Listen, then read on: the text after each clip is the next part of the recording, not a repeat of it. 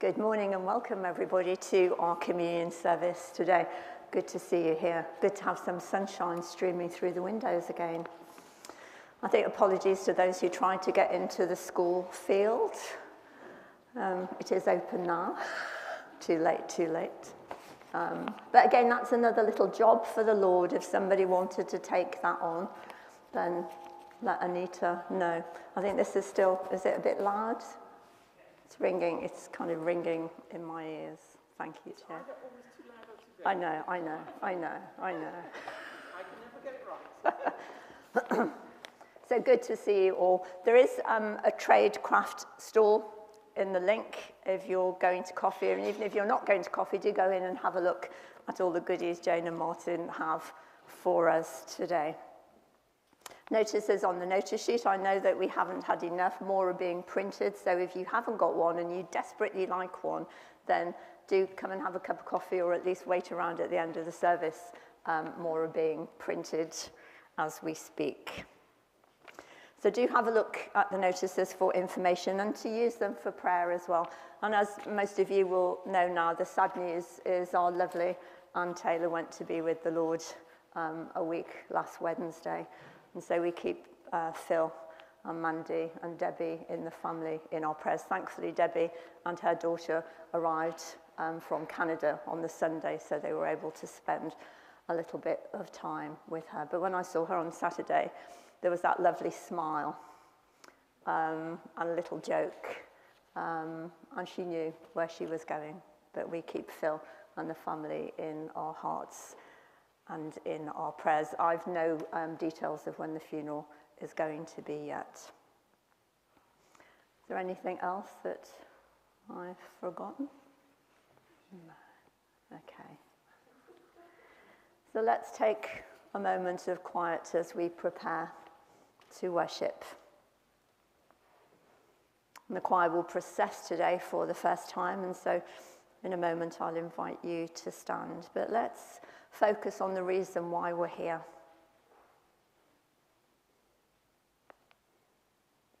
In these last few days after the Queen's death, many people have gathered to, to welcome the new King, King Charles, the excitement of meeting him.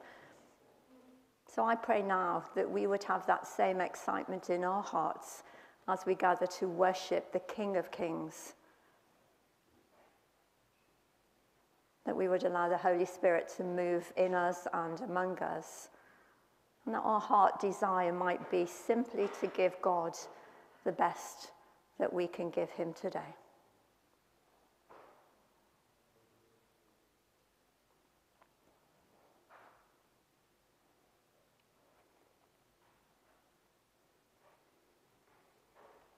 Glorious things of thee are spoken. Our opening hymn from the Green Hymn Book, number 362.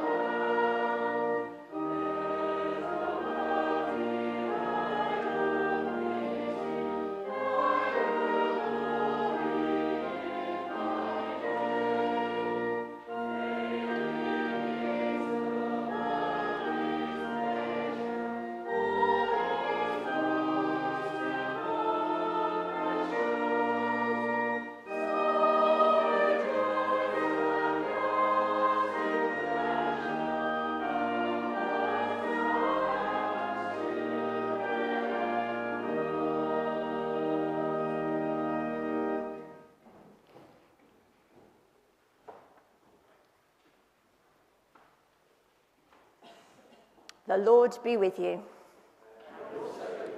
We say together, Almighty God, to whom all hearts are open, all desires known, and from whom no secrets are hidden, cleanse the thoughts of our hearts by the inspiration of your Holy Spirit, that we may perfectly love you and worthily magnify your holy name through Christ our Lord. Amen. To sit or kneel to pray.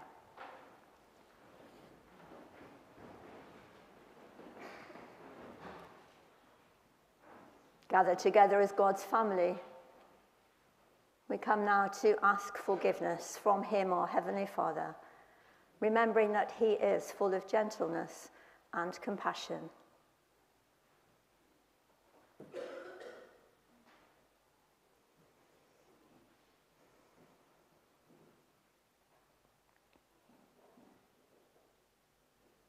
Say together, Almighty God, our Heavenly Father, we have sinned against you and against our neighbour in thought and word and deed, through negligence, through weakness, through our own deliberate fault. We are truly sorry and repent of all our sins for the sake of your Son, Jesus Christ, who died for us.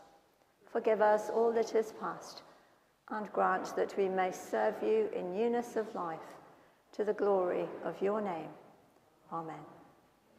We receive his forgiveness? Almighty God, who forgives all who truly repent, have mercy upon you, pardon and deliver you from all your sins, confirm and strengthen you in all goodness, and keep you in life eternal through Jesus Christ our Lord. Amen.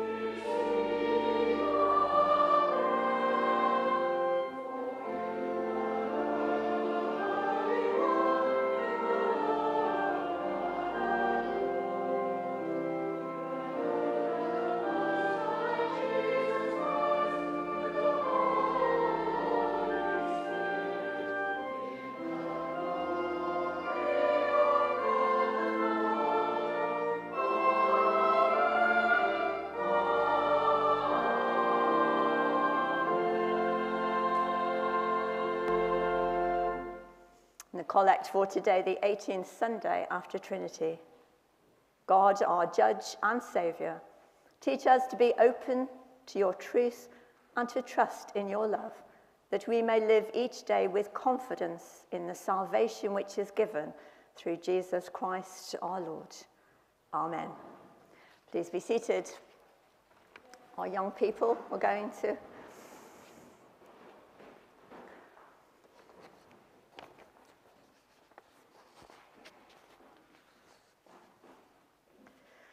Morning and all.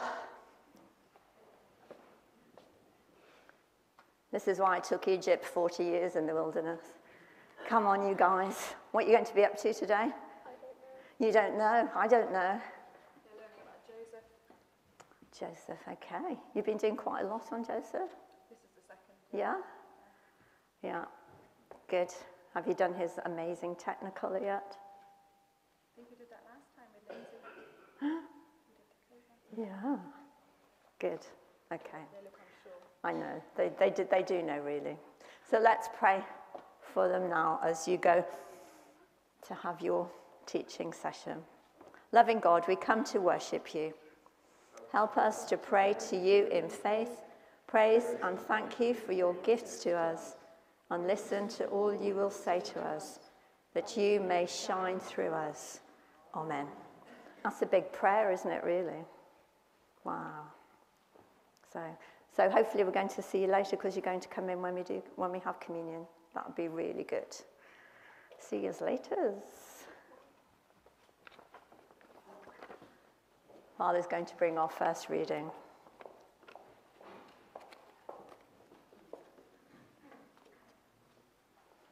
The reading is taken from the second book of Timothy.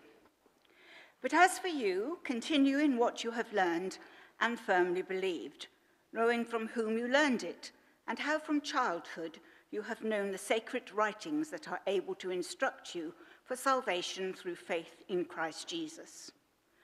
All scripture is inspired by God and is useful for teaching, for reproof, for correction, and for training in righteousness, so that everyone who belongs to God may be proficient, equipped for every good work, in the presence of God and of Christ Jesus, who is to judge the living and the dead. And in view of his appearing and his kingdom, I solemnly urge you to proclaim the message. Be persistent, whether the time is favorable or unfavorable. Convince, rebuke, and encourage, with the utmost patience in teaching. For the time is coming when people will not put up with sound doctrine, but have itching ears. They will accumulate for themselves teachers to suit their own desires and will turn away from listening to the truth and wander away to myths. As for you, always be sober, endure suffering, do the work of an evangelist, carry out your ministry fully. This is the word of the Lord.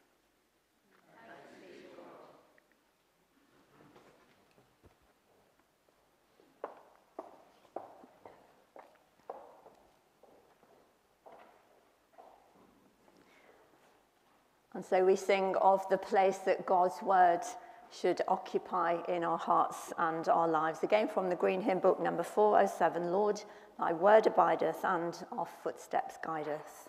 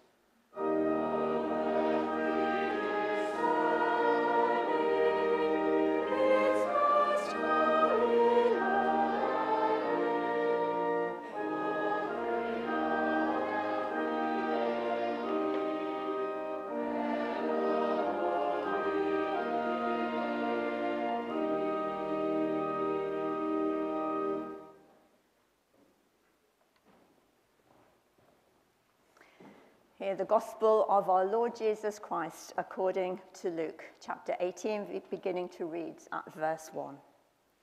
Glory to you, Lord. Jesus told his disciples a, a parable about their need to pray always and not to lose heart. He said, In a certain city there was a judge who neither feared God nor had respect for people. In that city, there was a widow who kept coming to him and saying, Grant me justice against my opponent. For a while, he refused, but later he said to himself, Now I have no fear of God and no respect for anyone, yet because this widow keeps bothering me, I will grant her justice so that she might not wear me out by continually coming. And the Lord said, Listen to what the unjust judge says. And will not God grant justice to his chosen ones who cry to him day and night? Will he delay long in helping them? I tell you, he will quickly grant justice to them. And yet, when the Son of Man comes, will he find faith on earth? This is the gospel of the Lord. Praise to you, O Christ. Father, we thank you for your word to us today. Holy Spirit, will you impart the words that you want us to hear today into our minds, into our hearts, so that we might truly serve you and walk the way that you have planned for each of us. In your name we pray. Amen.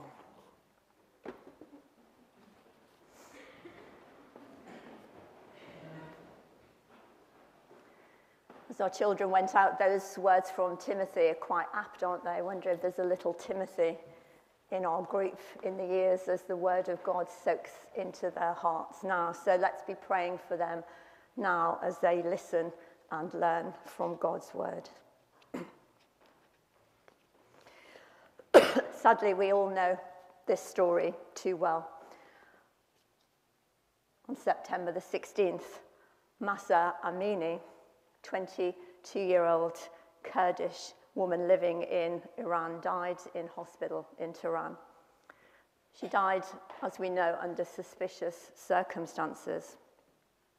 I've read that her injuries led independent observers to believe that she'd had either a stroke or a cerebral hemorrhage, most probably as a result of the severe beating that she'd received at the hands of the guidance patrol, the Iranian government's religious morality police. You'll know too that they're sticking to their story that she'd had a heart attack, but it would appear that the other detainees who were with her in the van taking her to the detention centre, which we've seen on the news last night and today is on fire because we do not know who started it. But they're telling a very different story. They witnessed what happened to this young woman whose crime, it was a biggie. She wasn't wearing a hijab, the scarf that many Muslim women wear, the head covering. She wasn't wearing it correctly, and so a little bit of her hair was showing. She'd broken the biggie rule of the very strict dress code rule for women in that country and in many others, as we know. Her death protests not seen in that country for many, many years. And listening to the radio today, um, a woman who was in the same detention centre, and it's also the centre where um, I can't, had Ratcliffe, the lady that was imprisoned for many years, that's where she was held as well. But it appears that the majority of people protesting are around about the age of 15. Women, schoolgirls taking to the streets cutting their hair, as we've seen on the television, burning their scarves in public, doing everything that they know they shouldn't do because it could cost them their very lives. But they're risking those lives because they want justice to be served. On Friday, I heard on the news that they've actually started firing live ammunition at the crowds now. And again, it made me feel quite sick that these police, these so called morality police, are actually beating up children probably the same age as their own children. How does that work under the name of Almighty God? But roll back the centuries now. We meet another woman. We don't know her name. We don't know anything about her except for the fact that she is a widow. There are lots of them around, you might say. But in the first century world, women in general and widows in particular have no rights whatsoever.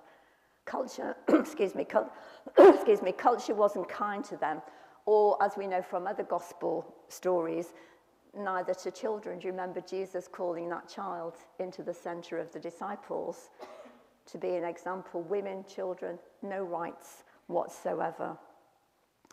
So for this woman, as hopefully you've already done, sit down with your husband or whoever it is that's going to care for you in old age and talk about the future. Draw up your will, sort out your power of attorney while you still got your marbles. But the woman was widowed. She didn't have any inheritance at all. It would have come from her late husband or their eldest son. But what happens if there was no son? It would pass to her husband's eldest brother. And then so on and so on if there was no eldest brother down the male line.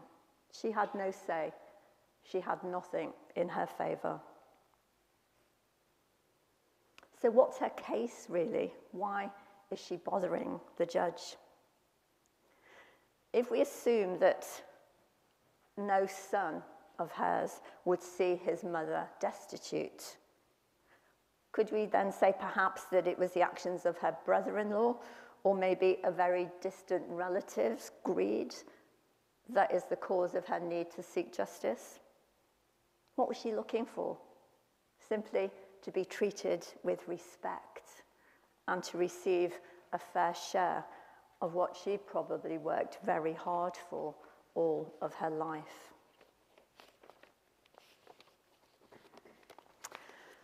So imagine it. What's it like to be bothered, to be pestered by somebody?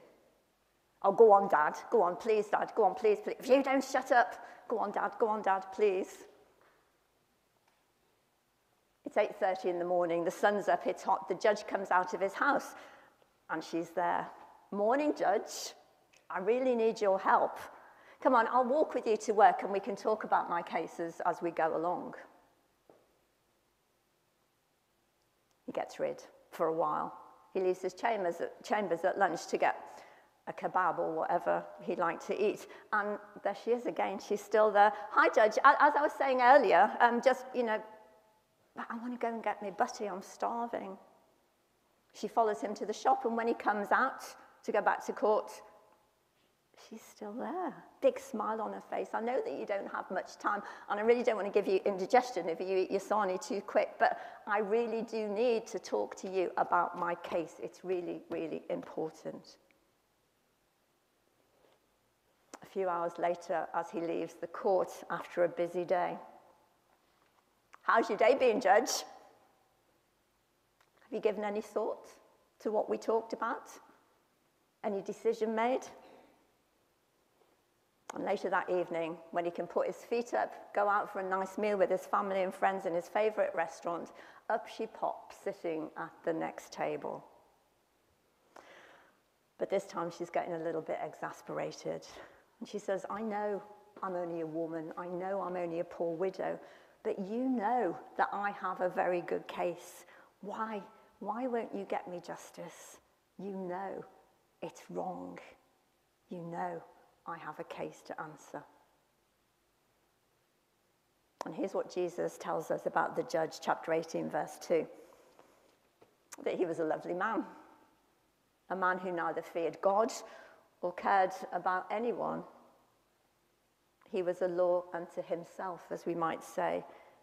His court, his rules, his verdict. End of. It would appear he's a man who doesn't care about people suffering.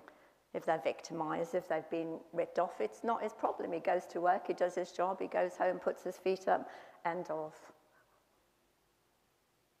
But Jesus adds that he doesn't even fear his own judgment. And you can just see Jesus saying in heaven, can't? Here comes the judge. That was supposed to get a laugh. Yeah, it's this very man who eventually gives in to the widow's request and grants her justice for no other reason other than she persisted. She kept on bothering him. She kept on getting in his face, as they say today. And he simply didn't want her to wear him out.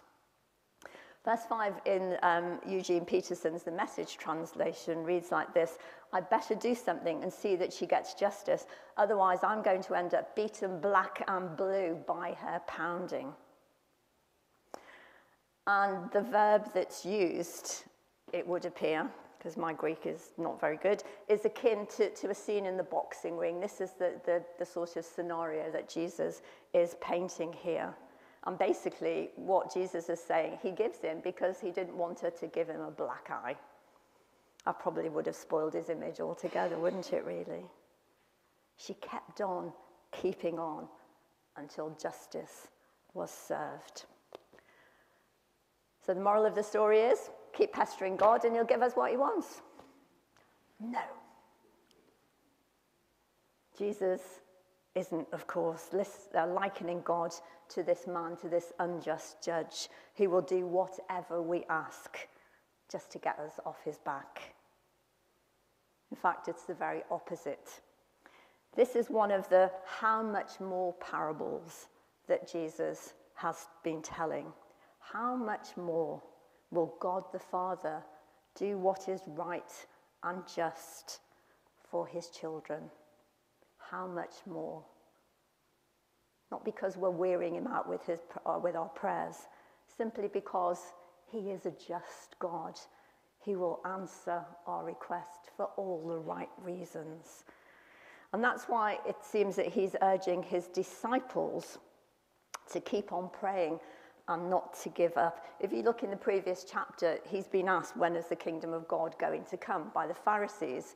And Jesus said, Well, you won't be able to sort of say on this day or that day, because for those who know me, the kingdom is already within those people.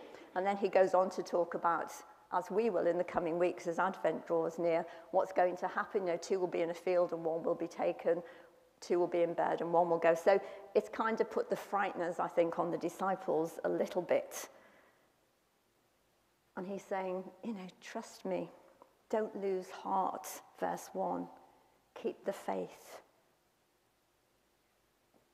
Do your bit to proclaim my kingdom. Live by the rules of my kingdom, even though at times people will reject you. And those chilling verses that Val read to us from Timothy 2 um, of false teachers and myths and all the other stuff that happens around us and that people, some of the people that I've known who've been committed Christians go off on tangents thinking you name your guardian angel and you pray to your angel and all of that stuff. It's myth. It's not, it's not truth. Live your lives, he's saying, so that people can see you as a light in the darkness, of the age in which they were living at the time and in the age in which we live now. To be light in the darkness, to keep trusting me, however difficult, however much you will suffer, as many of them did to the point of martyrdom. Be that light. Trust me. Don't lose heart. How much more will our Heavenly Father give to those who ask. And yet, can we really put our hands up and say all our prayers have always been answered very quickly? We've always got what we want. Actually, I don't think that's a prayer that should be answered because the way to pray is to say, Lord, how do you want me to pray? And then we're not disappointed when He doesn't give us the thing that we think we need because He'll always know better. But think about it. You might have prayed for somebody for a very long time.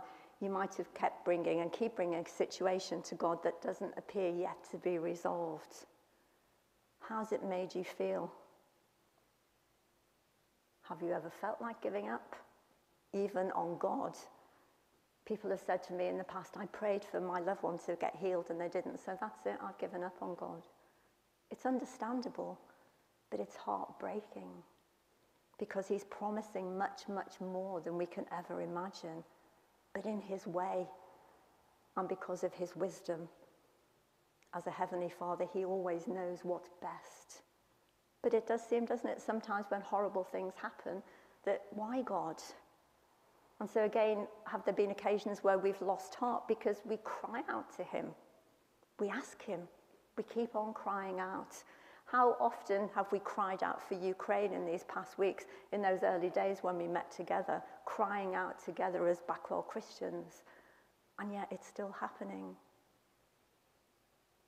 That's where we have to trust, to keep on keeping on believing that He's got it all sorted but it's in His way and in His time. We might think He's deaf to those cries, but I believe He isn't. And through that waiting, through that wrestling, these are the times often when He can do most in our hearts, when we're at our most vulnerable. Because He said actually that prayer was easy. Anybody think prayer is easy? But the kind of prayer that Jesus is urging his disciples to engage with. You could say, if you want to take that boxing ring analogy a bit further, that actually prayer is boxing ring stuff. What did the judge say? Let's get justice done before she gives me a black eye. I don't know about you, but boxing, sport, I don't know, but I'm sure some of you enjoy boxing. I just think it's, but that's another story. But to get into the ring, you have to be fit, don't you? You have to have stamina and strength, both physically and mentally, to go the distance. You have to know your appointment. Uh, you know your appointment. My appointment would be not in the boxing ring. Know your oppo- opponent, and certainly try to be one step ahead. And when you see them, they do all that kind of trying to psych the other out, don't they? Really? I think yeah. Boxing ring prayer, but not seeking I hasten to harden for those watching as well, not so somebody ends up physically damaged, but that we gain that strength and discipline and know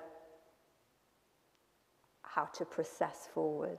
Because when we look at the world, the many dire situations, I don't know about you, but we could be tempted to think that Satan, our opponent, has got all the best moves at the moment but he ain't. He is a defeated enemy. He's lost the fight. But that won't stop him from sowing seeds of doubt into our hearts and into our minds, or from trying to knock us off course, to defeat us, to flatten us in the ring. And that's why we need to keep our eyes firmly fixed on Jesus, to keep the armor of God that He's given us against those forces of evil firmly in place. If you say to a friend, if somebody said to a friend of mine, Have you put your armor on? he would quickly say, I'll never take it off. And that's the thing never take it off, always keep it in place. Because if we're serious in prayer. And this is a whole sermon series, really, this, which is, we haven't got time for. But it is about wrestling, it is about fighting the powers of evil who will do anything they can to prevent us from deepening our relationship with God and believing that those prayers will be answered. And that's why, in order to pray, the first thing we have to understand, as Paul reminded the Romans 8, verse 26, that we need the guidance and the help of the Holy Spirit because we do not know what we ought to pray for. We can have our shopping lists. We can say, Dear God, bless so and so.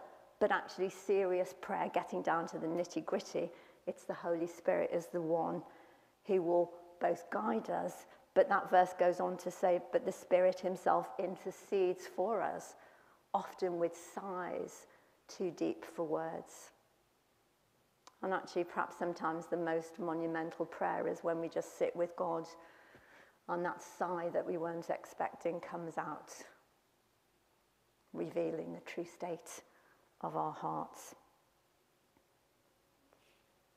When the disciples asked Jesus to teach them to pray, he told them to pray a prayer that we pray regularly Your kingdom come, your will be done. But do we actually really understand what that means? Because what we're asking, I believe, is that we're asking for the values, the character of his kingdom. In a sense, we're asking for heaven on earth. We're asking to live where there's love, where there's mercy, where there's forgiveness, where there's reconciliation, where there's unity, where there's peace, where there's healing, where there's transformation. We're asking for all of those things to be evident for them in their lives and for us in our lives too, and for justice, his just and gentle rule to break in and to transform every situation on earth. And we know that these requests for our prayers won't be answered until his kingdom comes in all his fullness. But if we are born again of the Spirit, then the kingdom of God is within us. And the Holy Spirit will transform us into lightness to be the light of Christ in the darkness. And so, like them, when we pray that prayer, we too have a part to play if we are brave enough to mean what we pray. And when I pray those words, Lord, your kingdom come, your will be done, I usually add, in my life today, Lord, in my life today. Don't always remember to do it, but that's what the Lord wants for it to be real in us in order for us to be real in Him and make Him known in our world. Yesterday, the church commemorated uh, Saint Teresa of Avila. So I'm going to invite you to be quiet for a moment, and then I'm going to pray her prayer, a prayer which we'll know. But actually, it's a prayer, I think, which serves to remind us that, funnily enough, the Lord often answers our prayers, our fervent prayers, by actually asking us to play our part and, in effect, to be the answer to our prayer. So let's just take a moment of quiet together.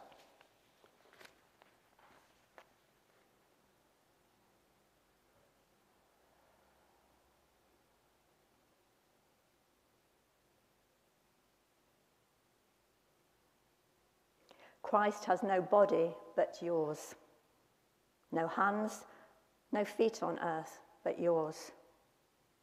Yours are the eyes with which he looks compassion on this world.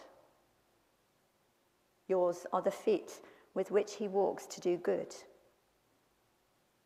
Yours are the hands with which he blesses all the world. Yours are the hands, yours are the feet Yours are the eyes. You are his body. Christ has no body now but yours. Yours are the eyes with which he looks compassion on this world. Christ has no body now on earth but yours and mine and all of us who profess his name. Lord, may your kingdom come and your will be done in my heart today for your glory and for the extension of your kingdom here on earth until you come again. Amen.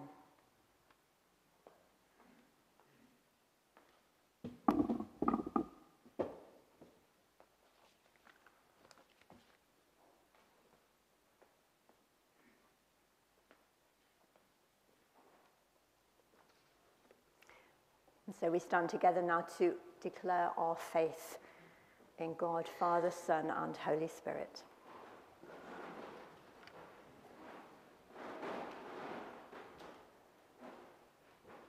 We believe in one God, the Father, the Almighty, maker of heaven and earth, of all that is seen and unseen. We believe in one Lord Jesus Christ, the only Son of God, eternally begotten of the Father, God from God, light from light, true God from true God, begotten, not made, of one being with the Father. Through him all things were made. For us and for our salvation, he came down from heaven, was incarnate from the Holy Spirit and the Virgin Mary, and was made man. For our sake, he was crucified under Pontius Pilate. He suffered death and was buried. On the third day, he rose again in accordance with the scriptures. He ascended into heaven and is seated at the right hand of the Father. He will come again in glory to judge the living and the dead, and his kingdom will have no end. We believe in the Holy Spirit, the Lord, the giver of life, who proceeds from the Father and the Son, who with the Father and the Son is worshipped and glorified, who has spoken through the prophets. We believe in one holy Catholic and Apostolic Church. We acknowledge one baptism for the forgiveness of sins. We look for the resurrection of the dead and the life of the world to come. Amen. David will now lead us in our intercessions.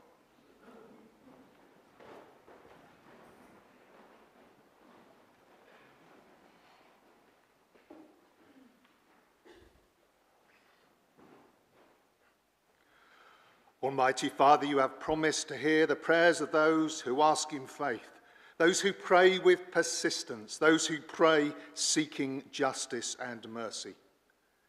Hear now our prayers, we pray. Heavenly Father, you have planted in the heart of each one of us an instinct to pray. Teach us to pray openly, trustfully, confidently, unselfishly remembering the needs of others as well as our own. And teach us to be persistent in our prayer. Lord, in your mercy,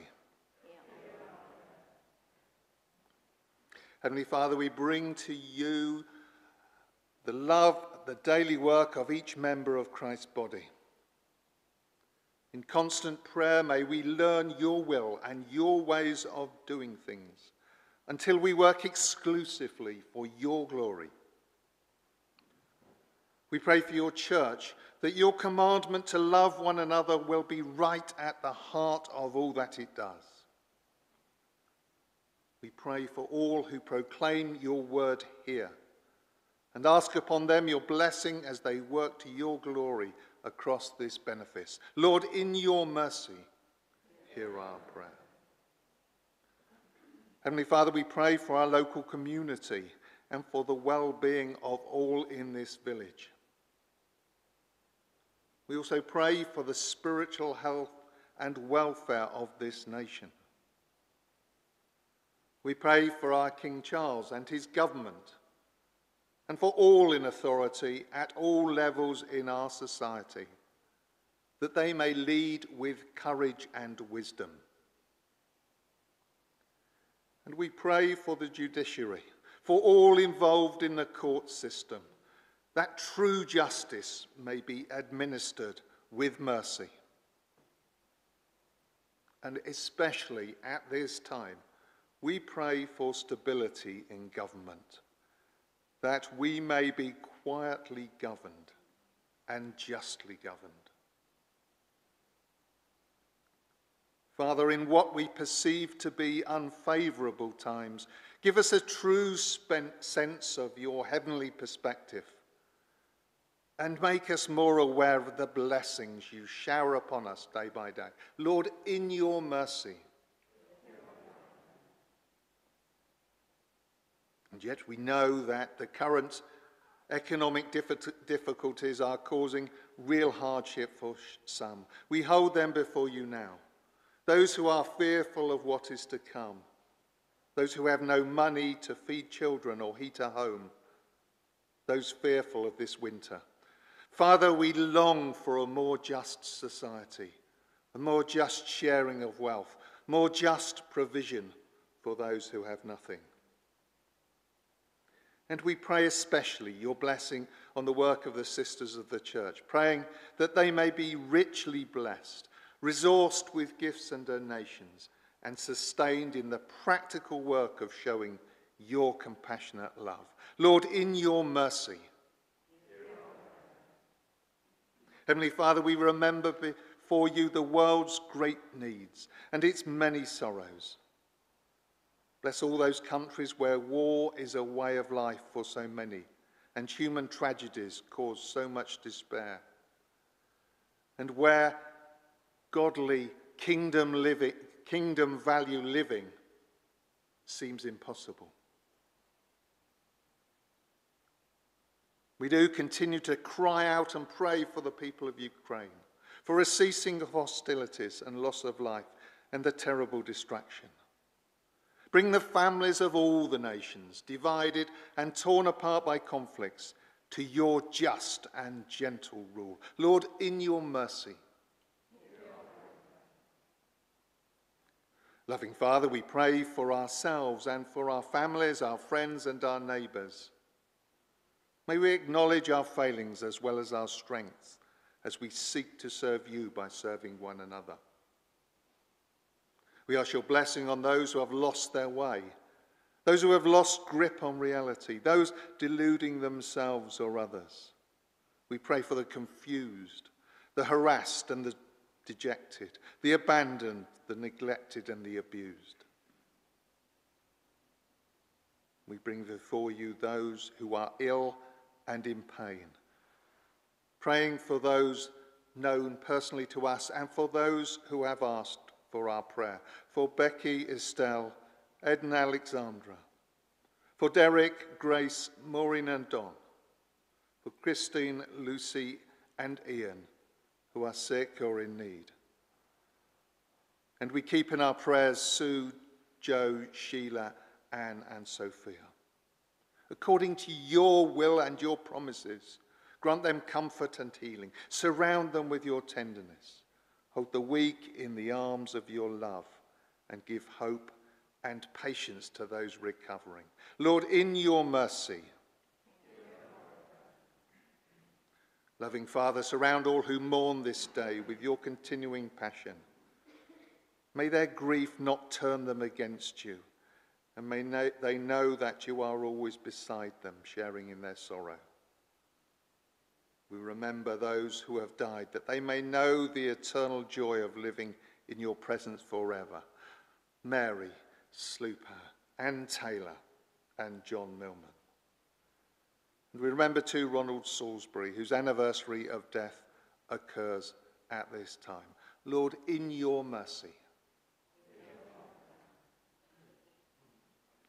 Heavenly Father, Help us never to give up praying for justice. Help us never to give up praying for fairness. Help us never to give up praying for healing. Help us never to give up praying. For to give up is to deny our faith in a God who answers prayer. Merciful Father, accept these prayers for the sake of your Son, our Saviour, Jesus Christ. Amen.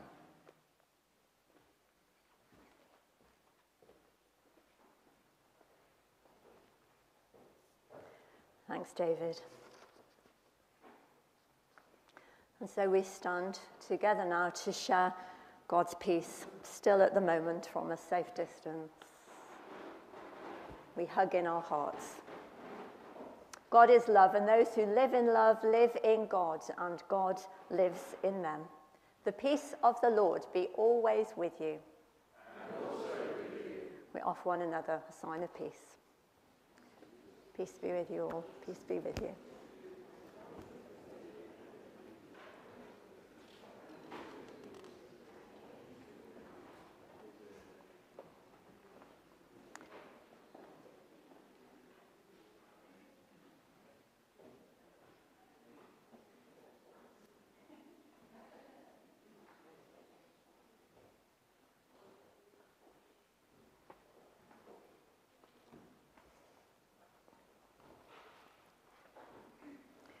Our offertory hymn in the Red Book this time, it's number 163. And that final verse asks us to place Christ at the very centre of all we are and all we do as individuals and as his body here.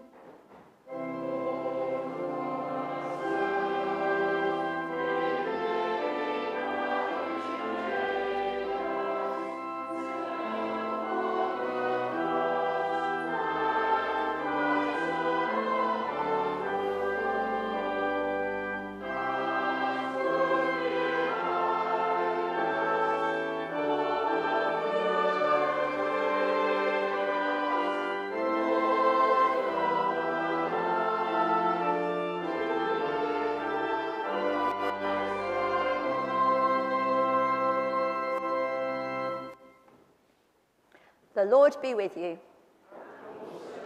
Lift up your hearts. Let us give thanks to the Lord our God. It is truly right and just, our duty and our salvation, always and everywhere to give you thanks, Holy Father, Almighty and eternal God. From sunrise to sunset, this day is holy, for Christ has risen from the tomb and scattered the darkness of death with light that will not fade. This day, the risen Lord walks with your gathered people, unfolds for us your word, and makes himself known in the breaking of bread. And though the night will overtake this day, you summon us to live in endless light, the never ceasing Sabbath of the Lord. And so, with choirs of angels and with all the heavenly host, we proclaim your glory and join their unending song of praise.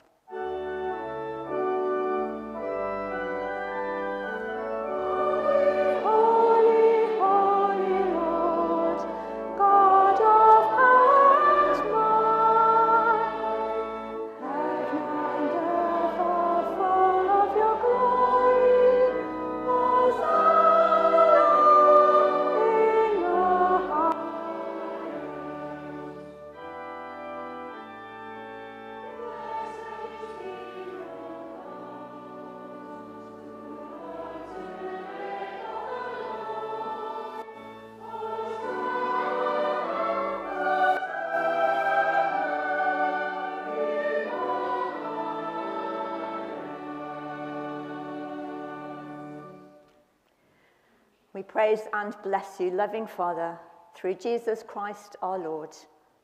And as we obey his command, send your Holy Spirit that broken bread and wine outpoured may be for us the body and blood of your dear Son. On the night before he died, he had supper with his friends, and taking bread, he praised you. He broke the bread, gave it to them, and said, Take, eat. This is my body, which is given for you. Do this in remembrance of me.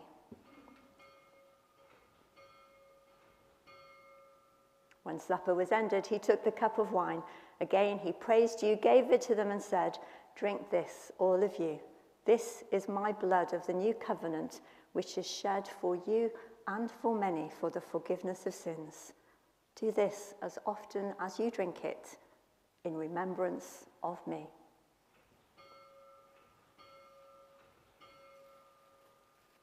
So, Father, we remember all that Jesus did. In him we plead with confidence his sacrifice made once for all upon the cross. Bringing before you the bread of life and cup of salvation, we proclaim his death and resurrection until he comes in glory. Great is the mystery of faith. Christ has died, Christ is risen, Christ will come again. Lord of all life, help us to work together for that day when your kingdom comes and justice and mercy will be seen in all the earth. Look with favour on your people, gather us in your loving arms, and bring us with Mary, the mother of our Lord, Andrew, Bridget, Nicholas, and all the saints to feast at your table in heaven. Through Christ and with Christ and in Christ, in the unity of the Holy Spirit, all honour and glory are yours, O loving Father, for ever and ever. Amen.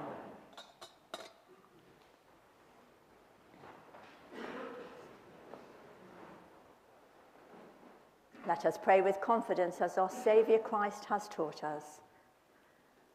Our Father in heaven, hallowed be your name. Your kingdom come, your will be done on earth as in heaven. Give us today our daily bread. Forgive us our sins as we forgive those who sin against us. Lead us not into temptation, but deliver from evil. For the kingdom, the power, and the glory, now and forever. Amen. We break this bread to share in the body of Christ. Though we are many, we are one body because we all share in one bread.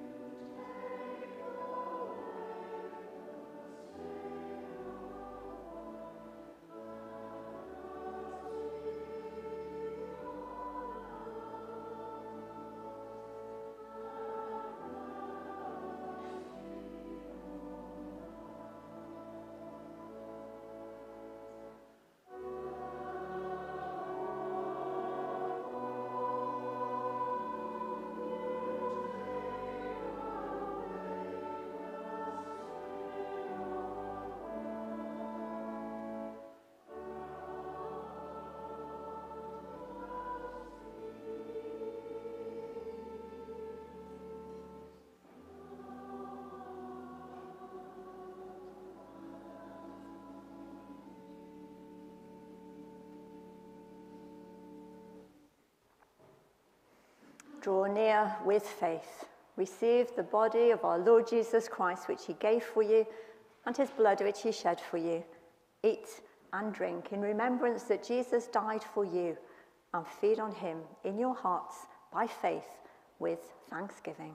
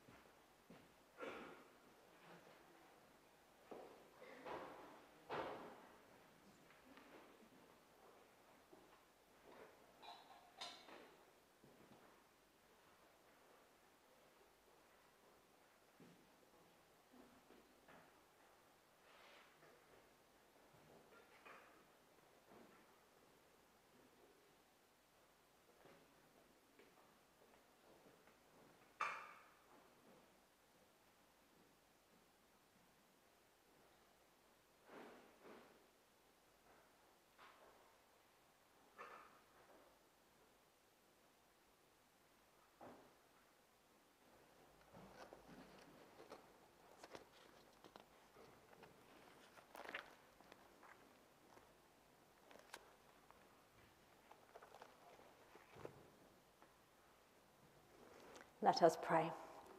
Almighty and everlasting God, increase in us your gift of faith, that forsaking what lies behind and reaching out to that which is before, we may run the way of your commandments and win the crown of everlasting joy through Jesus Christ, your Son, our Lord. Amen. We say together, Father of all, we give you thanks and praise that when we were still far off, you met us in your Son and brought us home. Dying and living, he declared your love, gave us grace, and opened the gates of glory. May we who share Christ's risen live his risen life. We who drink his cup bring life to others. We whom the Spirit lights give light to the world. Keep us firm in the hope you have set before us, so we and all children shall be free on the whole earth. Let your praise. Amen. Our closing hymn is number 55 in the green hymn book, when we remember that one day his kingdom will come in all its fullness and kings will bow before King Jesus. Let's stand to sing.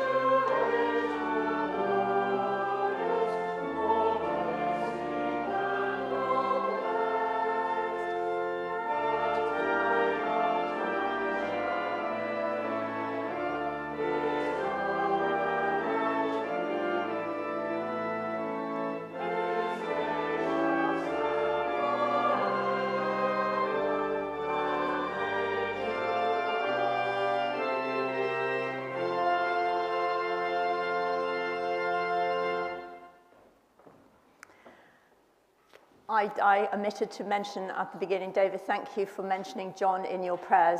Many of you will probably remember John Millman, uh, who, and you probably know that he, he died earlier this, this week. Remind me of his wife's name.